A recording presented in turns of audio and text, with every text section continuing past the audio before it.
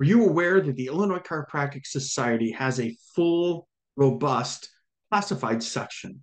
If you're looking for equipment, if you're looking for a new position, if you're looking for a job as an associate, um, we even have a number of practices that are for sale that are listed. In fact, there's one in Beecher and there's one up in Rockford.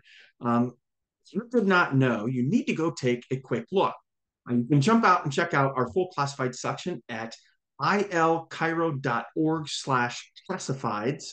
That's ilchiro.org slash classifieds. I'll include that link down below uh, in the description. Uh, but please jump out there and take a look. Um, you'll find a number of different styles of, of equipment uh, that are available for sale, as well as positions and practices for sale. Additionally, if you're looking to hire, if you're looking to uh, to reduce the services that you're offering in your practice and get rid of a particular piece of equipment, or if you've upgraded, someone else may have a need for the equipment that you have. We would encourage you uh, to jump out and uh, and list it in our classified section. ICS members get a substantial discount off of our normal rate for listings in the classified, and you can check it all out again at ilchiro.org slash classifieds.